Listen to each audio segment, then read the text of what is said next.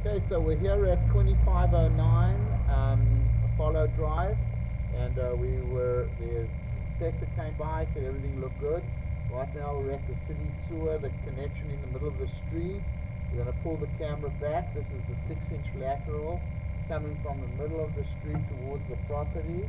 We made a repair at the sewer line underneath the sidewalk. We replaced the pipe. We're just going to come back to see it's nice condition, the sewer line in the street.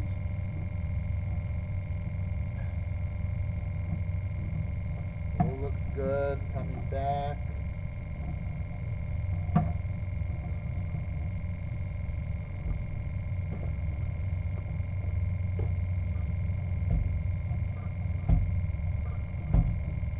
The piece we did under the sidewalk.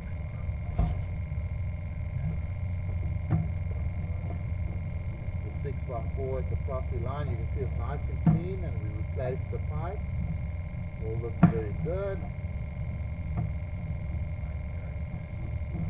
Here we are in the front of the house.